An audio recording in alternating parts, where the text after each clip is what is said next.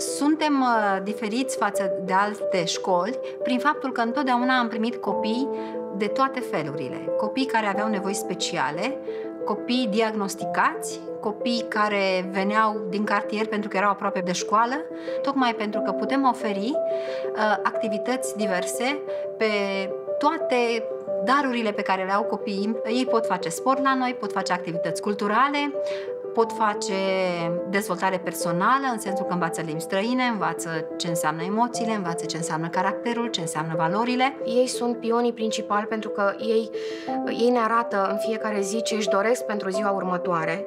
Fiecare copil este important, nimeni nu este lăsat pe afară.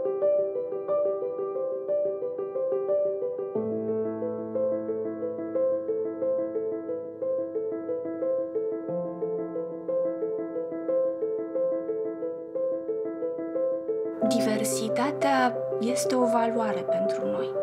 Ceea ce nu este la fel ca noi ne îmbogățește.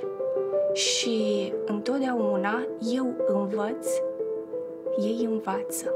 Este un schimb și o creștere, o valoare. Întotdeauna au fost provocări din toate părțile și din partea părinților, pentru că aveau anumite idei despre cum ar trebui să fie educația, se simțeau excluși până când uh, au văzut că la noi în școală sunt acceptați indiferent de culoarea pielii sau de limba pe care o vorbesc. Avem mai multă încredere unii în ceilalți, suntem mai sinceri, putem să afirmăm sau putem să exprimăm părerea, putem să lucrăm împreună foarte bine. Lucrurile acestea nu erau atât de bine stabilite și atât de practicate ca acum. Nimeni nu mai judecă un copil cum făceau înainte. E leneș, nu învață. Întotdeauna știu să meargă ce se întâmplă cu acest copil. Întotdeauna mergem în spatele unei atitudini sau a unui comportament. Și am învățat să facem lucrul acesta, că în spatele fiecărui copil e o poveste și de multe ori povestea aceea nu este cea mai fericită, este tristă.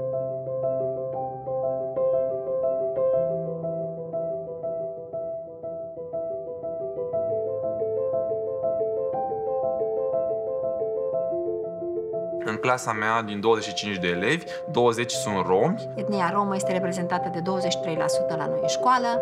Sunt etnici tătari, sunt copii care provin din familii mixte, arabi și români, chinezi și români sau doar chinezi.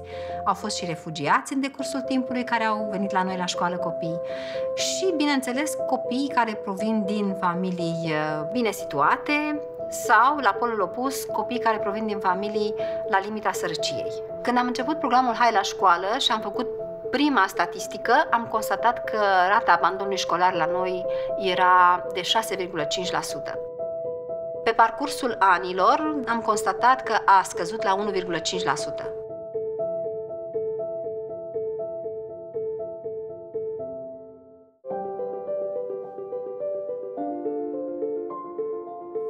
Suntem alături de copii și participăm și părinții participă efectiv la evenimente, aleargă, merg cu bicicleta, au jocuri sportive împreună cu copiii uh, și părinții sau cu profesorii. Punctăm diverse momente prin care mulțumim comunității că este alături de noi.